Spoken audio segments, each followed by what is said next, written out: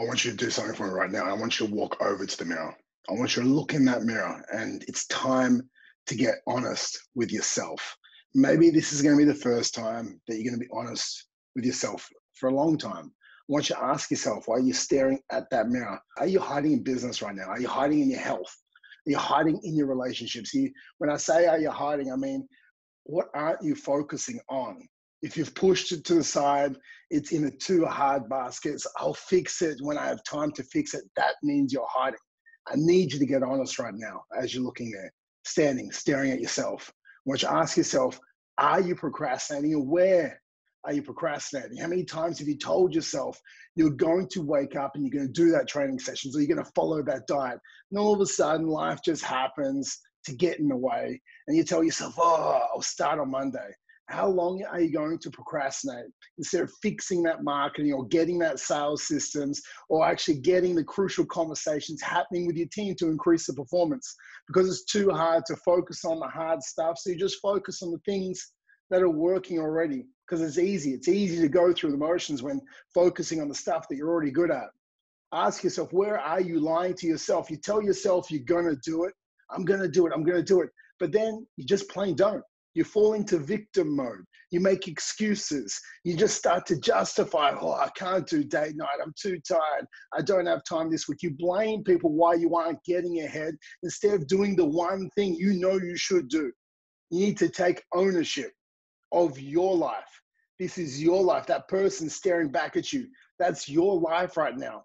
And if you take ownership, it comes down to something quite simple do you have a guidance system, a set of standards in the different areas of your life to force them forward? When I say force, it's a strong word because you need to force your life forward. You need to set some minimum performance criteria that if you hit each day in your health, in your business, in your relationship, that you will move it forward no matter what, that you'll get that momentum. You'll keep pushing forward because that's what athletes do. You need the athlete's mentality in your business, in your health, and in your relationship. Just because you don't feel like it doesn't mean you put off date night. Just because you don't feel like it doesn't mean you put that time with your partner and you have those conversations. The athlete's mentality is you get it done. You do it for them. You do your business for them. You don't focus on the easy things. You do the hard things first. You move the needle forward because that's what the athletes do. And you have to play the athlete's game. You need to win at all costs in all these aspects of your life. Are you just walking through life right now? Just randomly walking through, hoping that your business gets better, hoping your relationships will get better, hoping your health will get better. Because I'm going to tell you right now, it doesn't work like that.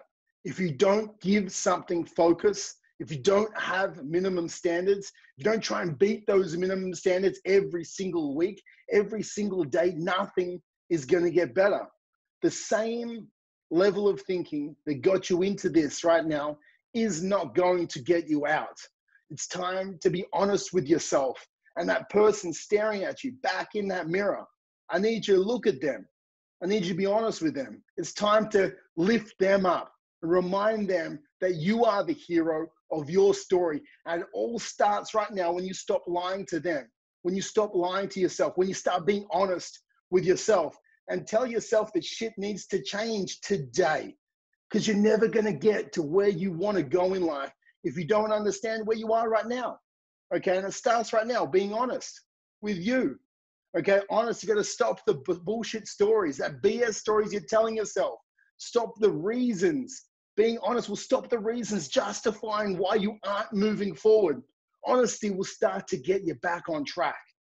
And so I want you to apologize. That person standing in the mirror, I want you to apologize to them right now and say, I'm sorry for lying.